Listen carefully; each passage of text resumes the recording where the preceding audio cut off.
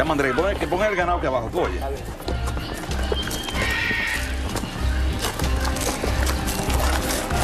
¿Cuántos hijos tiene? Cuatro. Una hembra Y tres varones. y tres varones. Este es el más pequeño. El, el tercero. No, el segundo. Ah, No, perdón. La hembra primero. Segundo, tercero y cuarto. Eh, me imagino que ellos han tenido que vivir momentos difíciles. Claro. Sí, muy difícil. Posiblemente más difícil que yo. ¿Por qué? Esa es mi responsabilidad. ¿Verdad? Ahora, ellos para entender eso,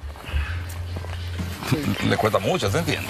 Yo creo que lo difícil es a veces en el entorno, eh, en la escuela, en la universidad, donde estén, en, en- en el trabajo, en la calle, de mucha gente que entonces aprovecha la coyuntura para eh, ofender y, expresar cosas que me imagino que puedan ser hirientes, ¿no? Mira, debo decirte algo.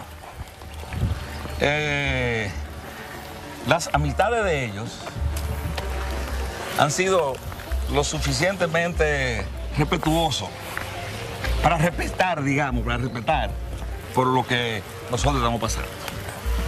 O sea, yo creo que en eso, inclusive yo mismo, es decir, yo, aunque he reducido mi círculo de acción, lo he hecho por una razón muy sencilla eh, para evitar el morbo de la gente, para evitar alguna imprudencia de alguna de la gente. Y provocaciones, Y ¿no? provocaciones, Eh. provocaciones. Entonces, voy a sitios muy, digamos, muy, muy reducidos. Muy reducidos. Eh, Un buen ganado. Sí, este es un buen ganado. Aquí podemos hacer un- una toma importante. Es un ganado nuevo que hemos introducido en el país. El famoso Como, como, como negocio.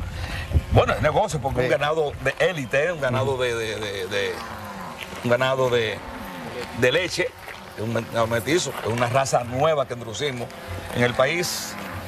No, no dan carne esa vaca. Eh, Pero básicamente Ustedes la tienen como, como la parte de leche, Pero ¿no? básicamente leche. Yo no sé mucho de ganado. No, no, no. Pero básicamente Ni de perdido. es un ganado Gir, Sí. pues un ganado. Yo le dije en otro día a Miniel que me dijo, mira, Minier es el abogado. Sí. El que Mire, habla cibaeño. Sí. Eh, necesito un pago. Y yo le dije al magi- al magistrado. Dos vacas, llévate dos No, vacas. no, le dije, magistrado. El, el procurador me tiene una cuenta embargada y. Dígale, ¿Tiene su cuenta embargada? Le digo así.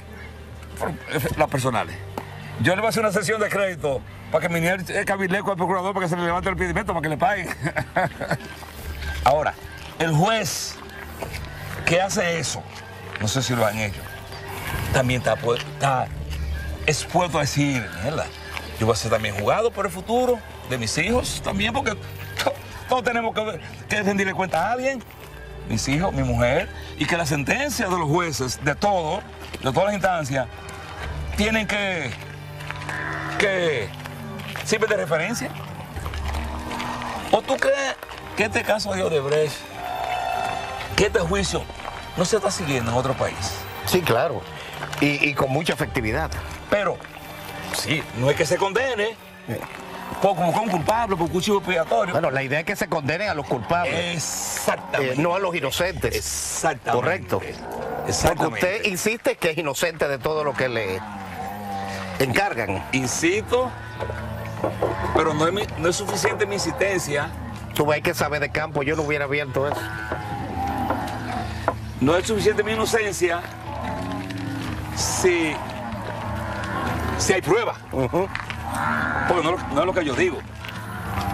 Bueno, hay que demostrar las Hay cosas. demostrar. Igual usted tiene que demostrar su inocencia y ellos tienen que demostrar su culpabilidad. Ellos tienen que demostrarme mi culpabilidad. Sí.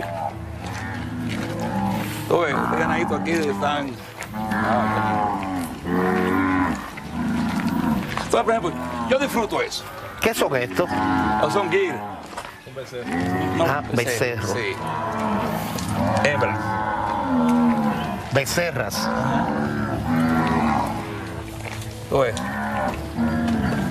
O sea, ¿a quién no le gusta eso? A mí me fascina el olor. Es una lástima que, que la televisión todavía eh, no haya llegado a... Ves. ¿A quién no le mira eso? Eso yo lo disfruto. No es verdad que eso me deja todo el dinero del mundo, porque no lo deja. Porque tú has visto la protesta de los ganaderos ahora, que le echa 30, que le echa 30. ¿Tú lo has visto? Eh, yo disfruto eso. Una vez, en mi discurso, que un, amigo mío que tiene una casa en la romana vino aquí a mi finca y me preguntó que si mi finca me era rentable.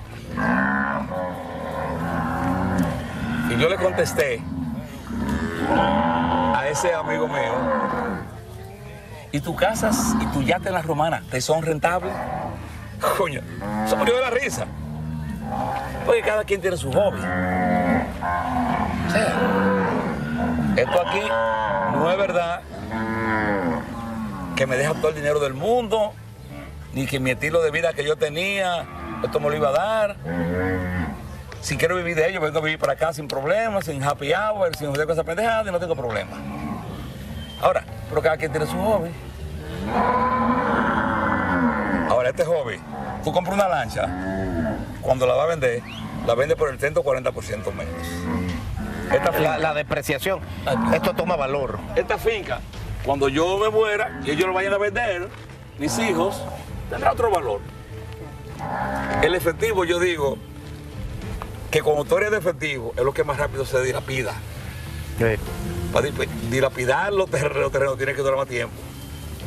Y siempre hay razones para gastar dinero. Y para, siempre para razones invertir. ganar dinero, para invertir. Eh.